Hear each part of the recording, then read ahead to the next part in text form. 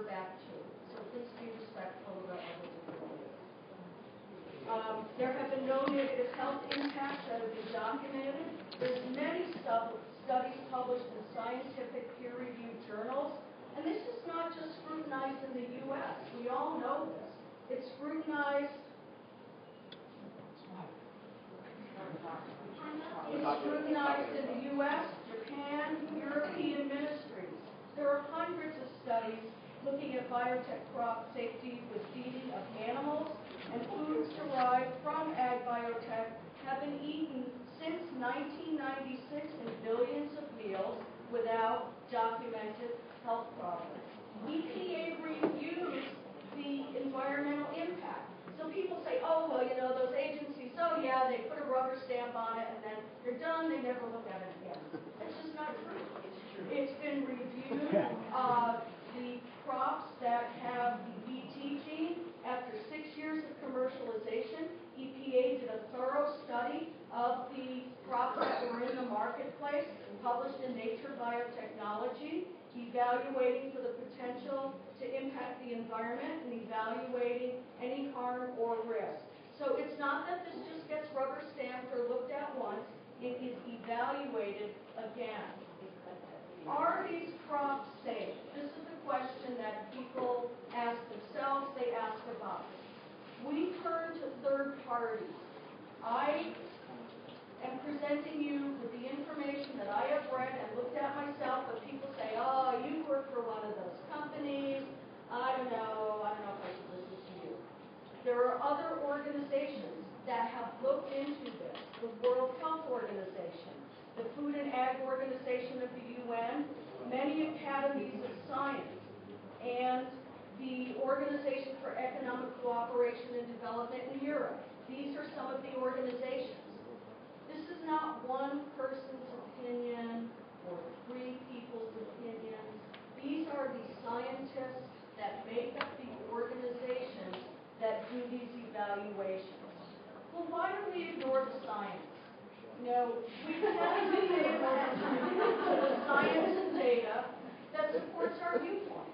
So you may have only read information that supports your own viewpoint.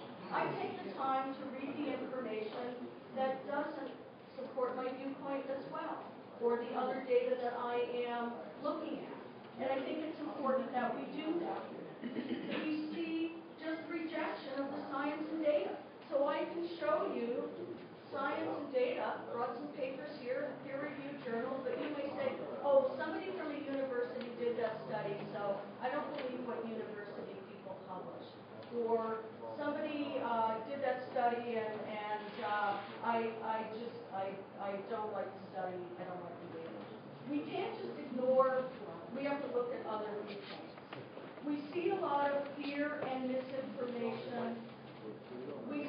Information that's meant to generate fear. The future of food video, many of you saw, there's a woman who says, what will this do to our food? Move on with the facts. We Move on need with the to- facts. We need to look at that. We do, need to listen to but the let's not, um, opinion. let's not just have fear be the basis of what the information is. Don't tell me how to I mentioned that, um, scientific society, so these are individuals, this isn't one or two people at a university or one or two people at the U.S. Department of Agriculture. This is the American Medical Association, the American Dietetic Association, All with the Institute same Food agenda. Technology. If you look, each of these organizations has come out with statements in support of biotech food safety. We're going to take questions at the at the end. But Huh, all of is not a- these this not a organizations, discussion. These just aren't individuals that have a Move viewpoint. on, move on. I just have a question, because I came in late, and I see that in seven minutes, we're supposed to have heard Monsanto, and then we get to ask questions. Okay, I, I would ask to that you know let ethically, if we're gonna get to ask questions by eight o'clock, or we're gonna be repressed from having any questions asked. Good Oh, question. don't blame us. Don't blame us. Questions will start at eight o'clock. Let's hear what Monsanto will speak when. let's hear what Yeah. No, I don't have this formal presentation. These were the two invited guests. I came along to ask, answer additional questions that might be asked. Okay. And the reason why we've been interrupted Information several that times. you sound scary. We're, we're twenty minutes behind schedule, guys, because we got interrupted. Oh, gosh! Let's try. Not just in the United States, Japan, Europe, many other nations have independently reviewed this information. In Europe, we all know that some nations in Europe allow biotech crops to be grown. Some countries in Europe do not allow biotech crops to be grown. However, the European Commission and individual governments in the European Union have looked at the data and the information. Up! Have looked at the information and summarized more than 15 years of research by 400 research teams. So again, when we talk about there is data, there are studies, you can go to, for instance, the European Commission's assessment, look at what did they look at in terms of 15 years of studies and 400 research teams to look the types of data that they use to evaluate, and they determined that the use of this more precise technology of genetic engineering and the greater regulatory scrutiny probably makes them safer than conventional plants and foods because they are studied to a larger extent. And you may not agree, but I urge you, take a look, look this up. The information exists. There is information to uh, back and, and look at this. So there are there are many studies, but it is a technical topic. It can be difficult to sort through the technical aspects of it. You know, some of the papers are pretty easy to read in terms of you look at the introduction, you look at the conclusions, you look at the information in the paper, and get a general sense of what it concludes. Now, you're, maybe you say, you know, look, I'm not a scientist, I don't know much about this, so I don't know, I look at these things, and this says this, and this says that, how do I know if it's true? I'm seeing comments on a website, or is it in fact a scientific paper? We all know there's a difference between something that's in a scientific paper that's peer reviewed, that appears in a journal, and commentary on the internet. We all know this. What we want to know, is there data to back up the information? Were we, and were there results that were repeated in other studies? And what were those conclusions? And one way to, to see, you know, where does this stand? Because I'm seeing these different viewpoints. You can find studies that say these crops aren't healthy to feed to these rats because this happened. If you see 4,999 studies that conclude that biotech foods are safe to consume, and you see one study that reports on rats eating this food and some abnormality, the question to ask is, first of all, did all those other studies miss something? Look at that one study, give it a thorough read and evaluation. But in science, what we do is we look at, did anybody repeat the study? In the world of science, you want to see that somebody else repeated the study and that other researchers found similar results. That is what the weight of the evidence concept, looking at other scientific studies. And if you think about the type of work that you do, if you've got a group of 15 people together that do the same kind of work that you do, I bet they would not all agree on the way to do something or not all be in agreement about the best way or what they think is, is uh, true in a particular situation. So we would expect some scientists not to agree with a viewpoint that these crops are safe. What you have to look at is what percent of people who have a background that has investigated it thoroughly or have educated themselves, what do they conclude? And again, I point out these are not individuals. These are organizations made up of many individuals that are following that these crops are human individual as we look at biotechnology and ask, should this be part of Hawaii's ag economy? I'd like everybody to just take a step back and look at scientific studies and publications, commission fact-finding reports, government agency reports like the EPA review, but not base this on fear and speculation or suspicion of a new technology. Uh, I do have some other, uh, sources of information that you could go to to look at. Um, mahalo, thank you for, um, listening to some other information.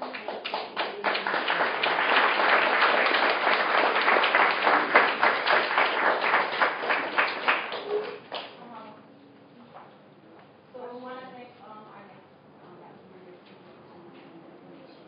we're gonna start with, if you folks have your questions on the card, you know, we ask them, you just gonna and choose the one. Yeah. I'm not gonna just pick Yeah. and choose, I'm gonna read them as in order that I, I received them. So if you have your card, quicker we can get through this process, the quicker I'll try to get these cards.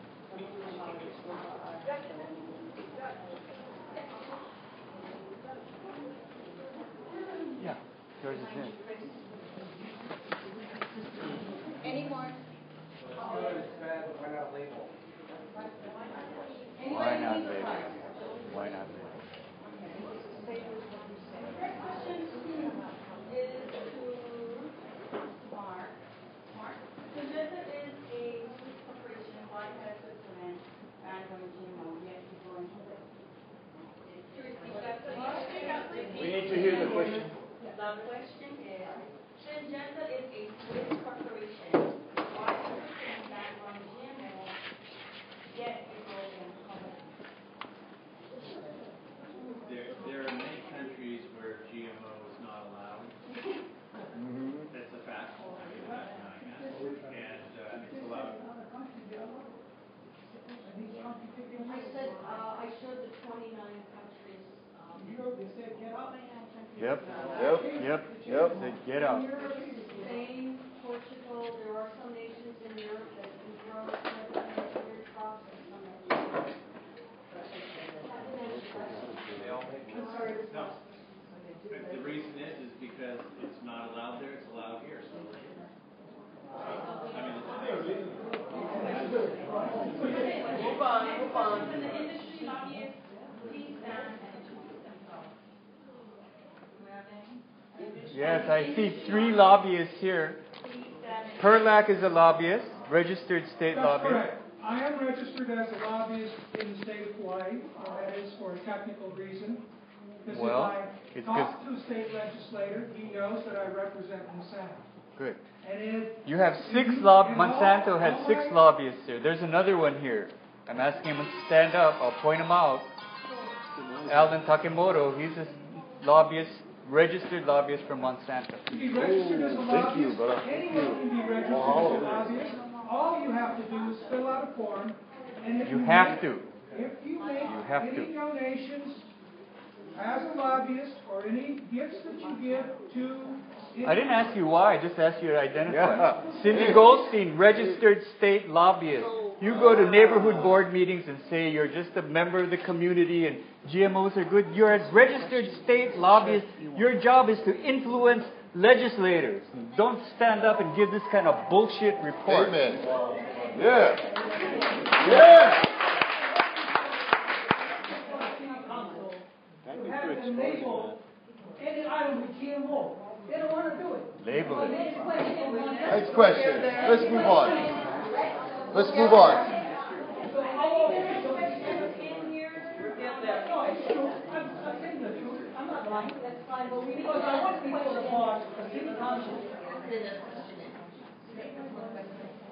If you, want to on the right there on the but it's much bigger than that. I'm sorry, is there this many questions? Yes, please, hold it up. Give me the time. Because the science is still being addressed, um, there's poll after poll of Americans, one third two people, if it is anti GMO, or if it contains GMO. Do you support labeling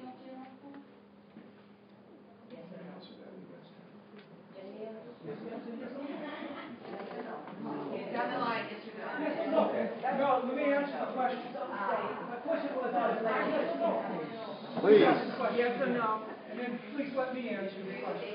Please ask the question again. The question is, do you support labeling of GMO? Yes or no? Or no?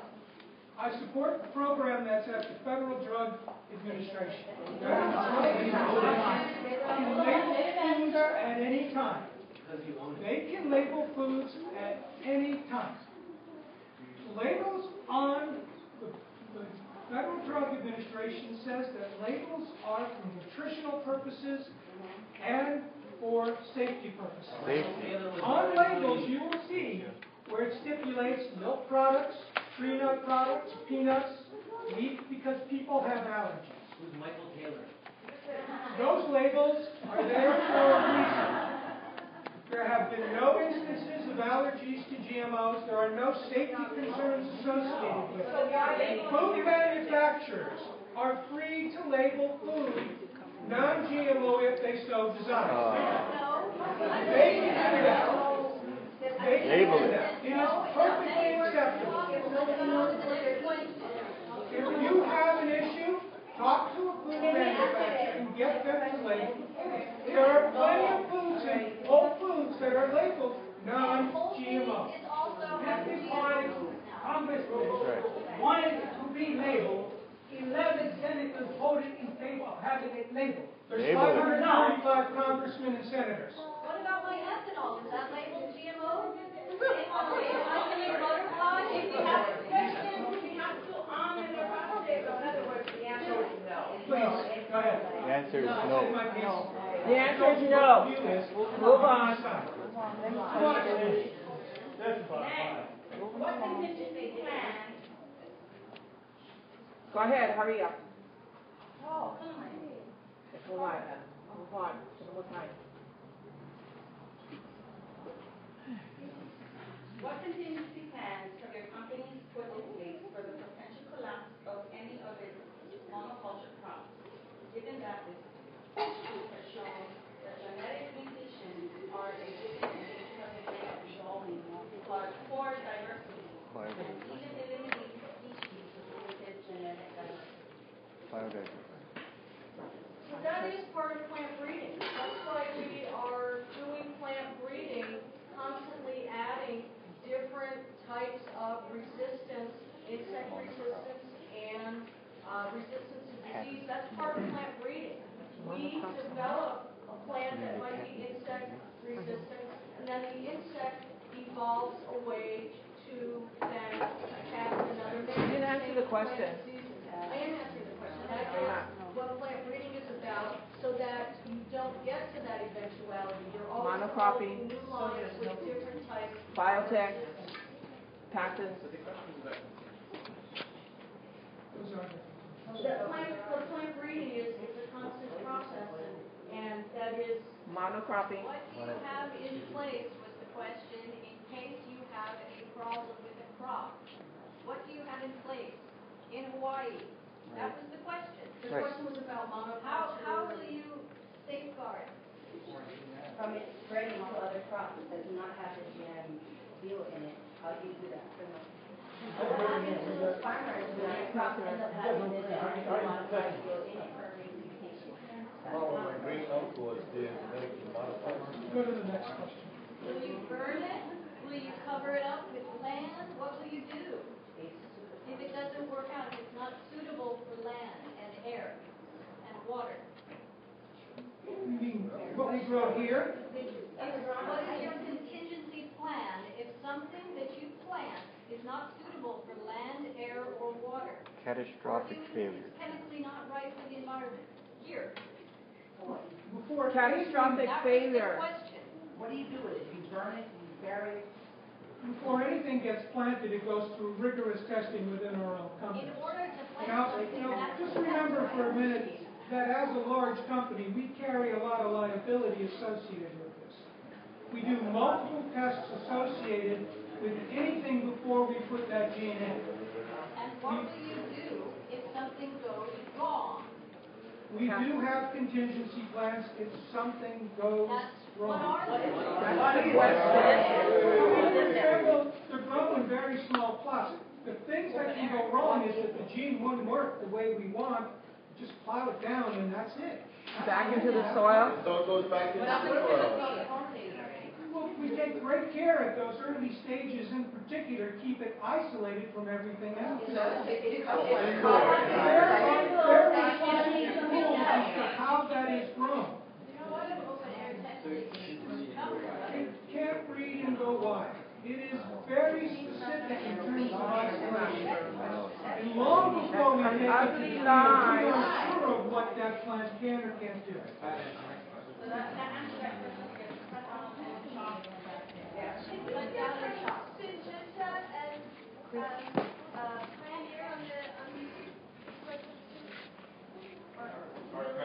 They're all together. It's a standard accepted practice.